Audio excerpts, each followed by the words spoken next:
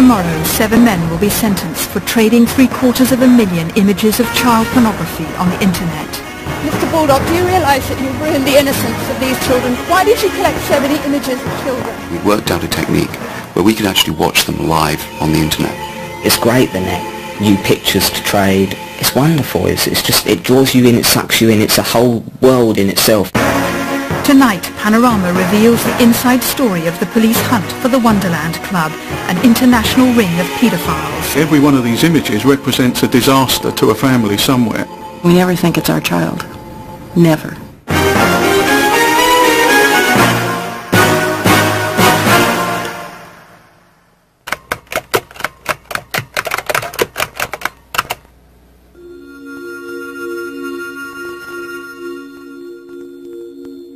Faces of a thousand unknown children, victims of sexual abuse. In a dark underworld of the internet, paedophiles traded these pictures in a club they called Wonderland.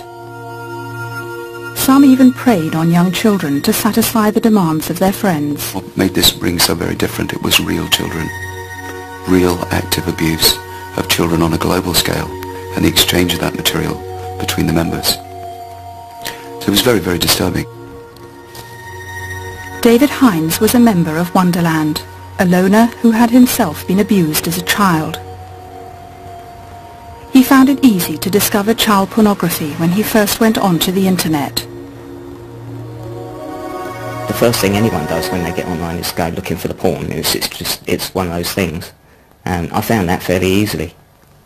Um, and within 24 hours I'd found the child porn as well. I didn't expect to find it at first. I thought, well, it's an urban myth. It's just something you hear about on the news. And um, there it was. It was sitting in front of me. Within days, he was hooked, exploring the hidden depths of the internet. There he met other paedophiles. Thinking they were protected by the anonymity of the net, they traded sexually explicit images of children and talked about them. I had people I could talk to.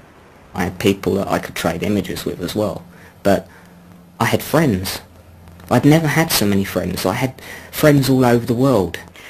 For two years now, we've been piecing together the inside story of the Wonderland Club through the unique access that we've had to the worldwide police operation to track down the members of the club.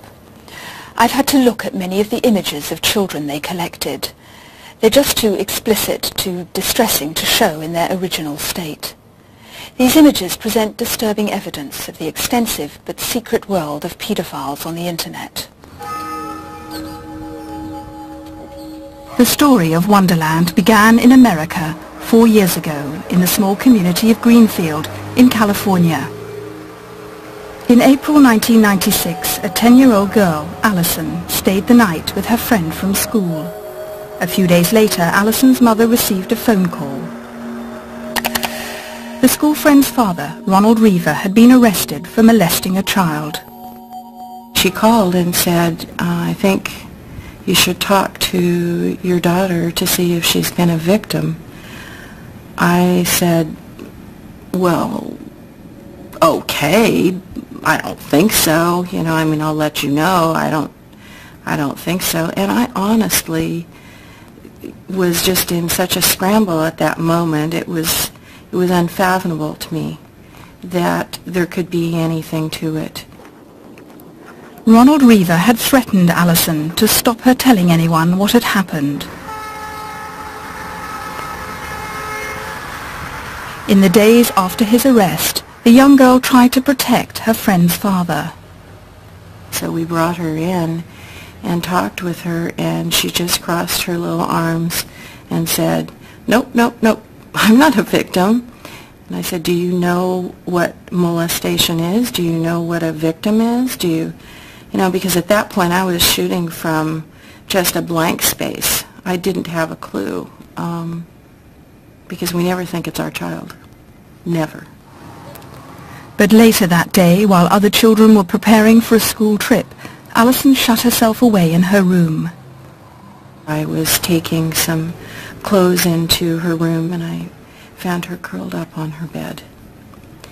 And I knew. I knew at that moment. And I said to her, um, I said to myself, I prayed that um, whatever I do at this point, please let me say the right thing.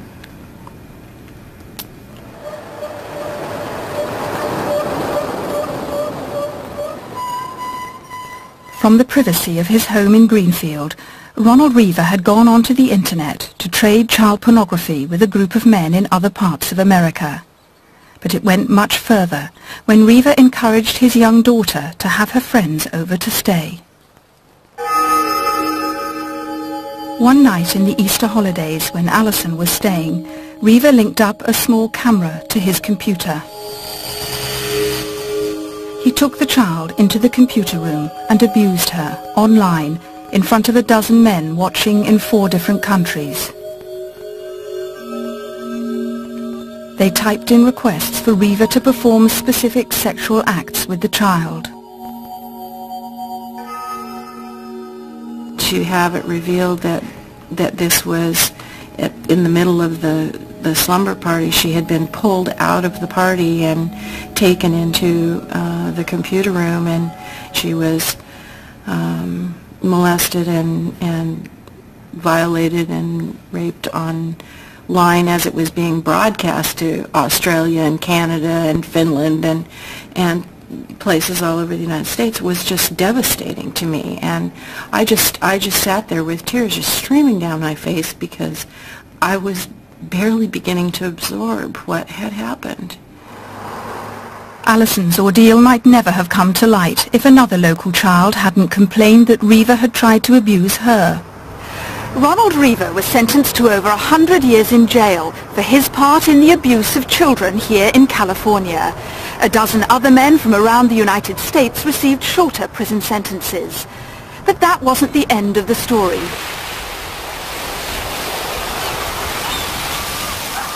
The electronic trail led beyond America to a town in England.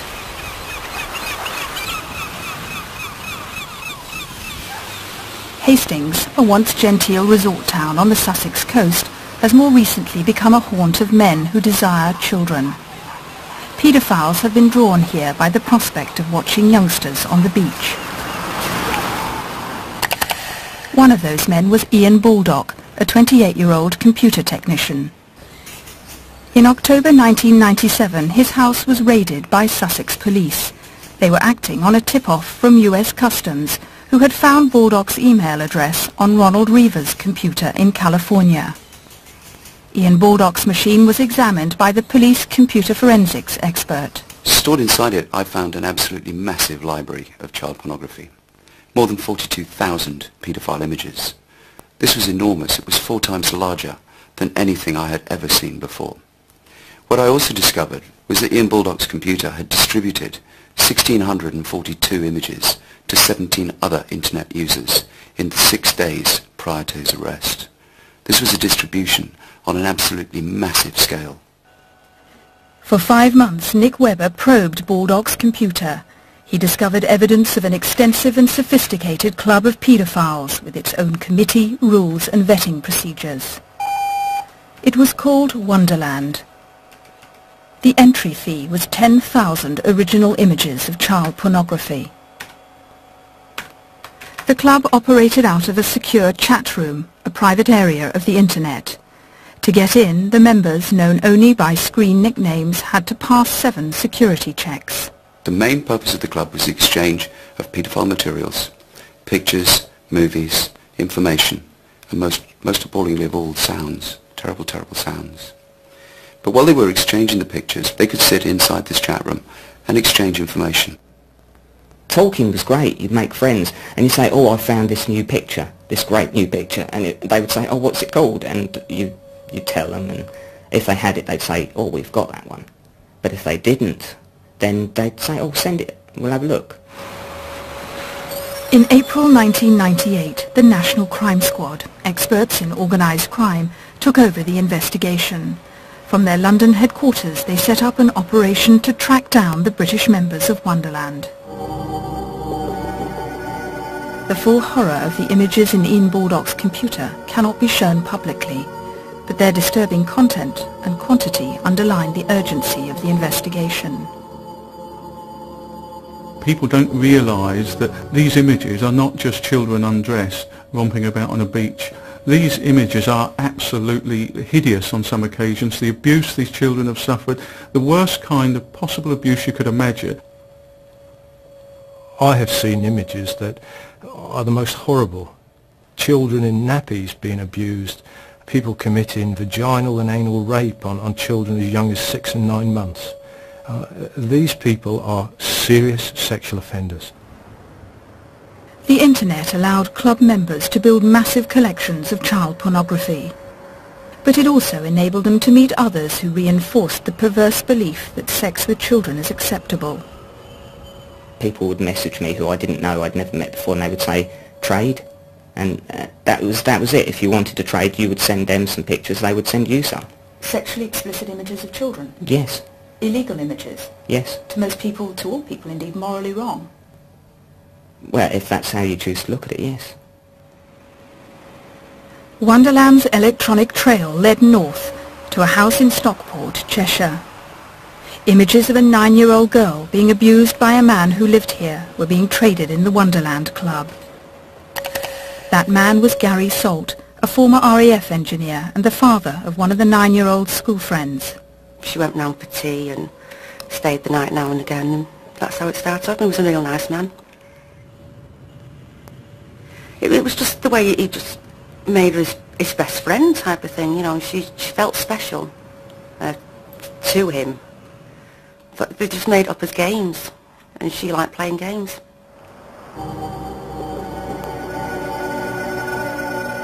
The kind of games Gary Salt liked to play involved taking pornographic pictures of the girl and trading them on the internet. The abuse went on for months, until one day after school her mother realized something was wrong. She phoned me saying she's staying with him and she's not coming home. She loves him. She loves him more than me and that's it. So I said, no, you've got to come home. You've got to come home. The mother threatened Salt she'd call the police if he didn't bring her child back. The next day her daughter told her what had happened at Salt's house. She just said, he's touched me tuppy, Mum. I just asked her when, where. Um, it just, she just said it in his bedroom when he was taking pictures of me. When Manchester police arrested Gary Salt, they found over 20,000 pornographic images of children in his computer.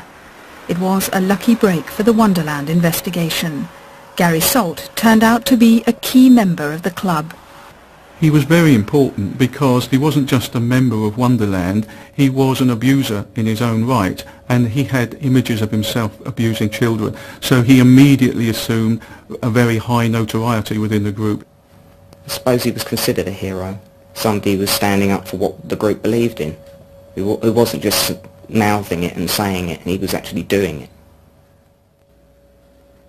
Gary Salt has already been sentenced to 12 years in prison for abusing three children. With Salt's computer, the police had more up-to-date intelligence on the club and a better chance of tracking them online. But they had to be careful. Salt's arrest had made other members even more security conscious. We'd worked out a technique where we could actually watch them live on the internet. So we were sitting very quietly and watching them coming and going into gang headquarters. As they were in effect coming past us, they couldn't see us, but we were able to backtrack and find out who they really were. To find out who they really were, the police now went to the companies through which people access the internet, the internet service providers.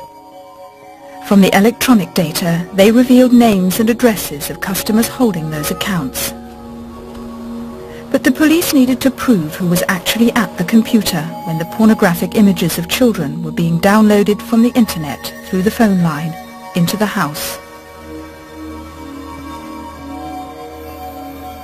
Detectives from the crime squad moved out across the country. For six weeks they watched 13 addresses where Wonderland members were thought to live. It's not enough to know that there's somebody on the internet at a particular address. It's important that our suspects we were able to show through surveillance um, were at home when the internet was being used. The original Wonderland member from Hastings was tracked down to Charlbury, a village in Oxfordshire. Ian Baldock had been allowed out on bail with no conditions when his computer was seized. He was living opposite the local school. Ian Baldock would travel on his bicycle and get a train into his place of work. We were able to monitor his movements at that place of work and when he came out from work we would take him back home again um, and could ascertain that he was actually using a computer at work and at his home address. Baldock was now working the night shift for a computer company in Oxford. He'd gone right back online into Wonderland and spent hours on the internet. It was the only life he had. We never saw him associating with anybody else. He used to go to cafes on his own. He used to go to bars on his own. And when he went home, he never came out again in the evenings. For Ian Baldock and the others, Wonderland became an obsession, a virtual community that brought paedophiles together. Oh, it's great, the net. It's so fast. Everything's moving. I mean, there's always a software update you need for, for some of the programs on your computer or something. Um, there's always a new game that you've got from somewhere or new pictures to trade or it's wonderful. It's, it's just, it draws you in, it sucks you in. It's a whole world in itself and it moves so fast. That's part of the attraction for it for me. As the crime squad began to build a picture of the members of Wonderland, the danger these men posed to children became very clear. The police had to balance the need for evidence against the risk to children. It was a constant risk assessment. We would do it often where we would analyse whether that particular person at that particular time had access to children, whether the intelligence picture around them made us believe it was such that we couldn't actually let them stay at large any longer. Police traced one of the paedophiles to a terraced house in a back street in Dartford in Kent. In the club he was known as Spank Daddy. In reality he was Gavin Seegers, a 24-year-old computer technician. Seegers had long online conversations with other members. He was supported and encouraged in his paedophile activities by Ian Baldock. There was a, a recorded conversation between him and Seegers, where Seegers is discussing going down to a local swimming pool, um, and the, uh, in effect, the touching up of 11-year-old girls in swimsuits. And Baldock is obviously very pleased about this from the conversation that they've been having, and he encourages Seegers to uh, to continue and asks if he can get more information about this particular potential abuse. As they watched Seegers online, the police became more and more concerned. Gavin Seegers was fantasizing about the abduction, the rape, the torture and the killing of children. Um, he was much easier to, to watch than, than some of the other members because his, his presence was, was almost constantly there on the internet. I could see him a lot of the time. Um, a very, very, very disturbing person to look at. In May 1998, the police tailed Gavin Seegers to a hut in Dartford.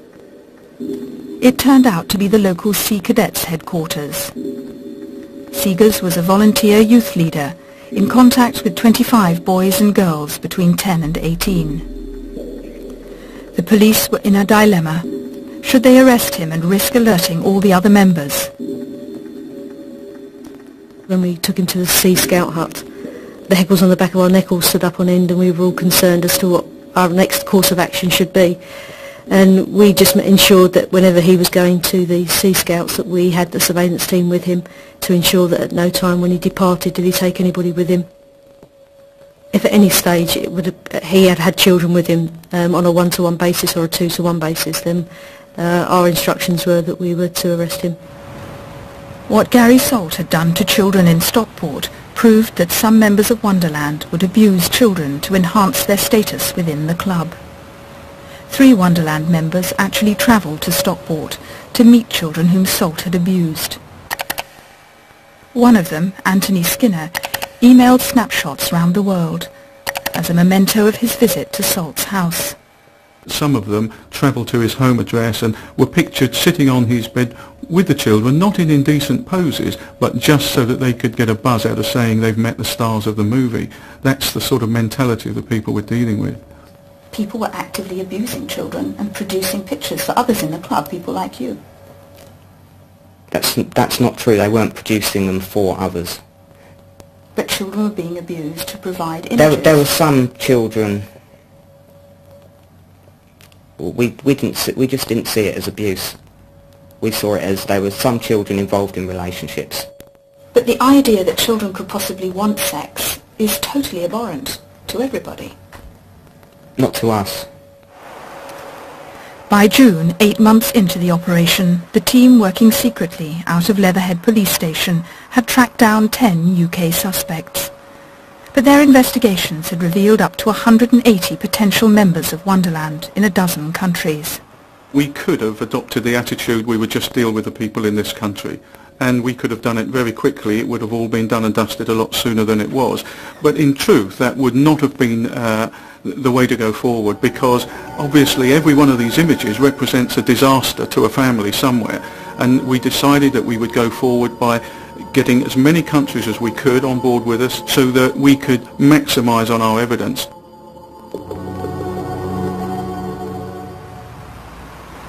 In July, the British police went to Virginia, to the US Customs Cyber Smuggling Center. Agents there were now briefed on 90 suspected American members of Wonderland. It was beyond the scope of any child pornography ring ever seen in the United States. It was now the turn of customs computer expert Jim Futrell to go through the mass of data. Folks from the UK produced lists of nicknames, uh, email addresses, and what country they were located in. Um, so basically, this is the information that we had to work with. And my responsibility was for all of the folks in the U.S. From this basic bit of information, tracking down these email addresses to try to determine which ones were real, which ones were bogus. Um, just going through the list, there's about four pages or about 90 different entries for people that whose address were in the U.S. of A. Customs identified one of the key American members of the club in St. Charles, Missouri, with the help of his internet service provider. He was living in a trailer park alongside several families and working in a nearby store. Online he traded child porn with other members, including his own father. His nickname was Bart, but his real name was Scott Allemeyer. He was a very popular, very well-respected guy. He was a producer. He was actually abusing kids, videotaping it, taking pictures, and sharing that pictures with everybody else in the channel. Um, that gave somebody great status. So he was definitely one of the one of the few people, the tier one, top shelf people. He was very much revered by everybody in the channel, and you can even see when he comes into the channel, people acknowledge him right away. Everybody is make sure to say hi to him. Hey Bart, how's it going? What's new? Good to see you. And that's because Bart had something special to offer. He had something special to offer. Actionable, you know, actionable pictures, new producer, actionable material. He would basically produce stuff on demand. If you want a special request, you would talk to him about certain things that you wanted to see him do. The next time he's abusing a child, he would do it for you. We had the, the obvious stereotypical pedophiles, the people that were out scavenging the, the playgrounds and such. But we also had people that were married with families. We had an individual who was a professor in the University of Connecticut. We had law students. We had med students. We had people that you would never have suspected of, of trading in this type of material. William Rosa seemed a respectable citizen, a 31-year-old medical student at Chapel Hill College in North Carolina. His training as a doctor included a stint in the children's unit at the hospital. But Rosa was also a member of Wonderland. He could be my general practitioner. He could be my family's GP. I could be sending my boys to him. Uh, or uh, my neighbor could be sending their daughters to him.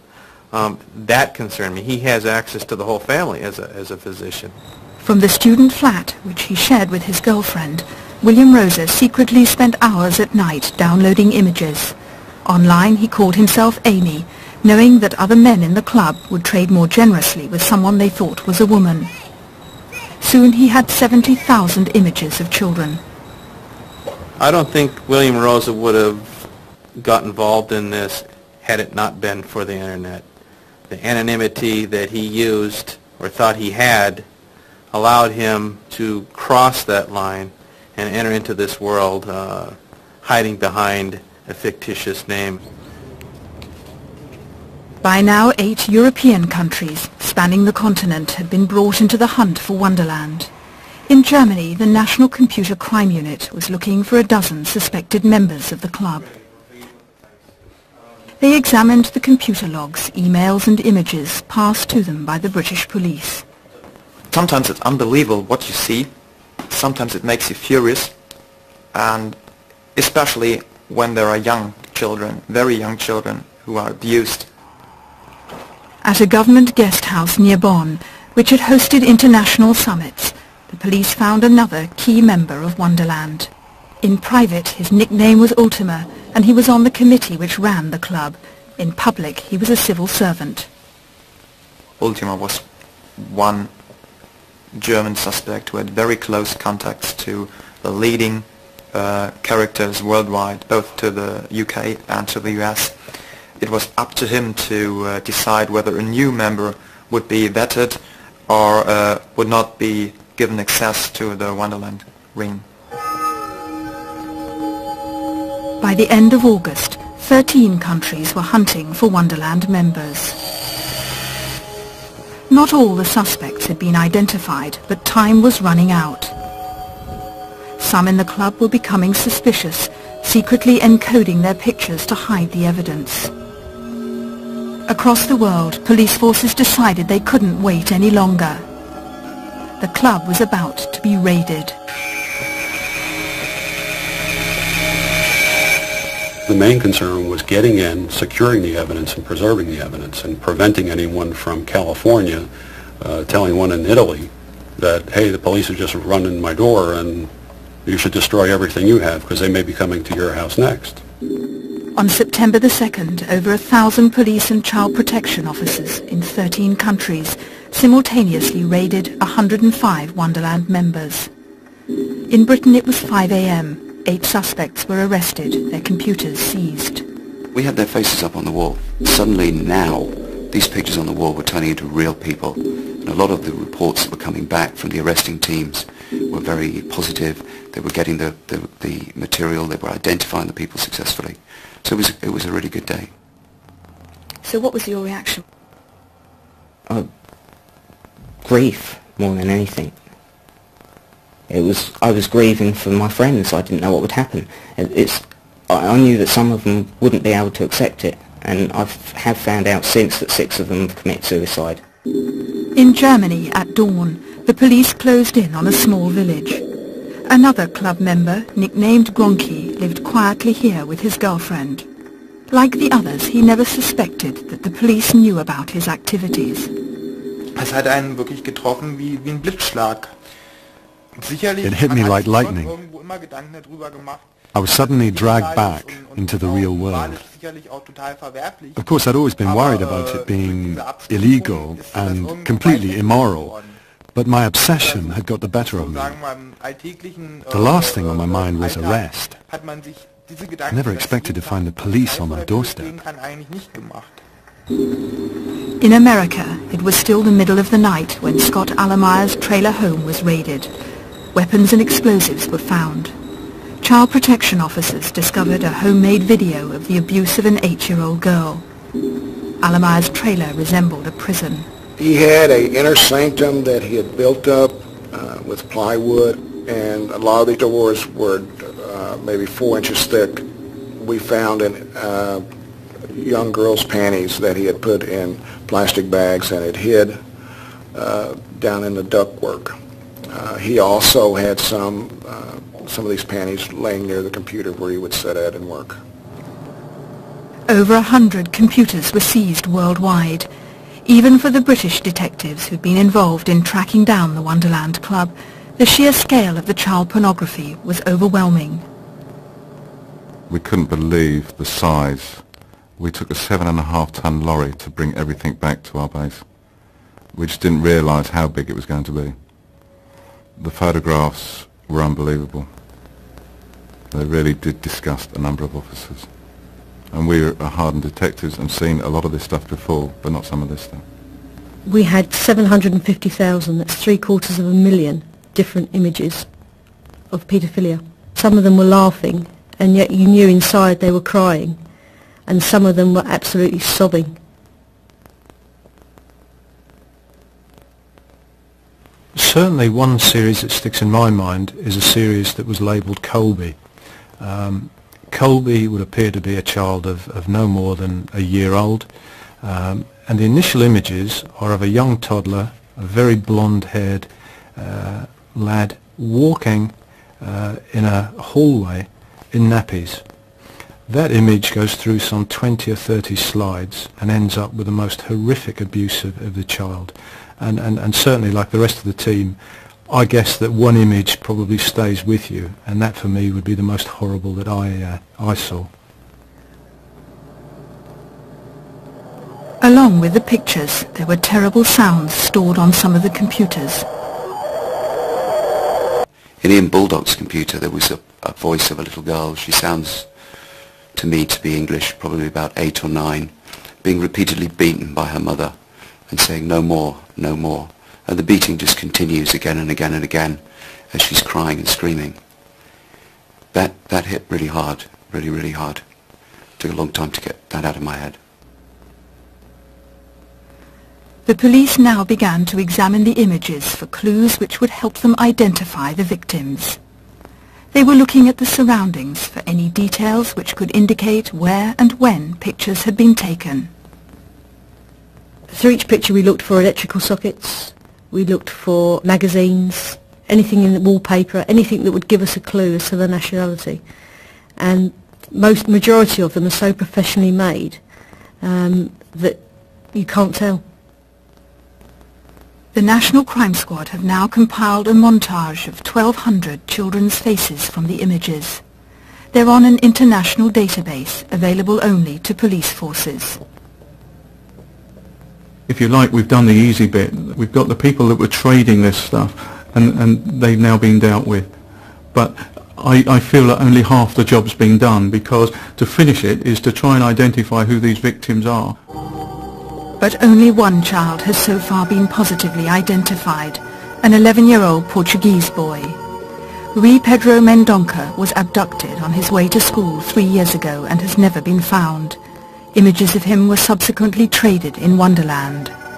Was the image of that Portuguese boy found on any of the computers seized here in Britain? Yes, it was. The image was found on uh, the computer of Gavin Seegers, uh, who was one of our suspects. It sounds pretty chilling, doesn't it? A, disappeared boy, paedophiles, computer images. The abuse of children is quite horrific. Um, we would know that the club, the Wonderland Club, uh, consider themselves to be the cream of paedophiles, and we would know uh, that in their craving for new material, they would stop at nothing uh, to abuse children. The revelations about Wonderland are focusing everyone's concern on the growing problem of child pornography on the internet. Some British internet service providers, the companies which provide access to the internet, carry such material on their networks. Indeed, paedophile content is openly advertised on some of the channels known as newsgroups. It is through these newsgroups that many of the members of Wonderland first found indecent images of children. This is a, an internet news group browsing program. It allows you to access up to 46,000 different news groups.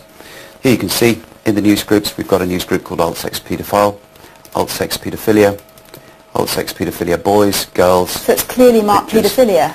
Clearly marked paedophilia and a simple click of the mouse will take you straight into it and the contents of that particular news group. And what's the likelihood of those contents being in effect illegal? images of children being abused? A large proportion of it will be images that are illegal to be in possession of in this country. And that's openly available on the internet? Openly available and clearly marked as such. Why do some of your members carry news groups that are obviously to do with paedophilia, sex, dot, babies? It's obvious what it contains. How can you say you're serious about stopping child porn on the net when this kind of material exists openly by I your think, members? I think it's important to recognise that the actual names of news groups do not actually bear always a correspondence with what they actually contain. And if we took the action of uh, banning all different news groups because of a, a, a name, then we might not actually be banning information that, would, that was actually... But it would be a start, would it not, to stop news groups that are actually called sex dot babies? Many of them are stopped. But many Um, of them aren't. I mean, one of your members, for example, has a dozen of these sites specifically, sex.babies, sex.boys, sex.children, pictor- pictures.child erotica. What else are those news groups about if not illegal material? Well, as I said, the news groups themselves, the names actually don't necessarily indicate what's in them. And But I some said, of the as I said, paedophiles that we've spoken to say that they got into this whole business and got into the net because they identified those news groups and went in that way because they found a news group called, for example, pictures.child.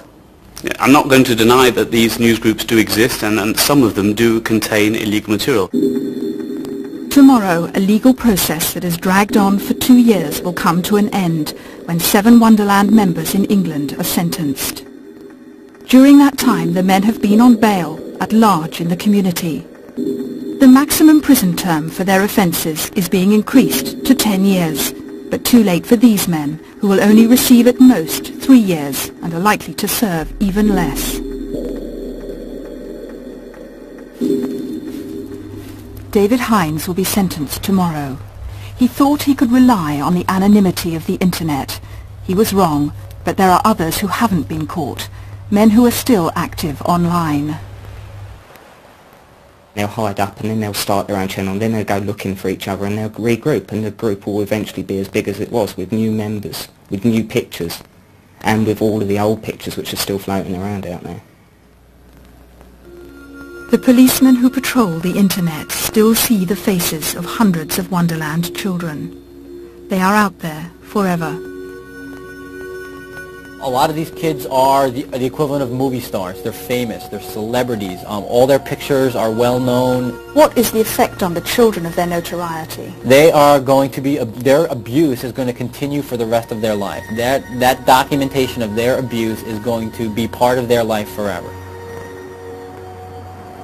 The abuse of Cheryl's daughter in California four years ago started the hunt for Wonderland. Cheryl's child, like all the victims, will never escape the memory of her ordeal.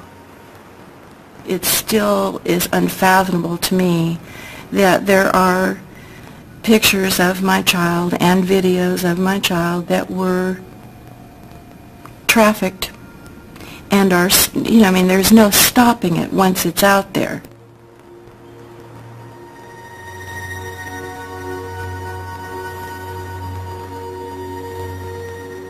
They were given varying sentences for the participation in direction of that night when she was molested online. But her sentence is a life sentence. I mean, our, our,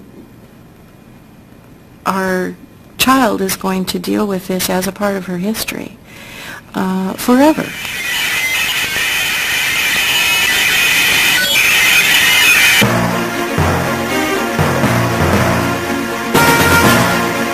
You can comment on the issues raised in our programme by visiting our website at bbc.co.uk slash panorama. Panorama returns in two weeks' time, investigating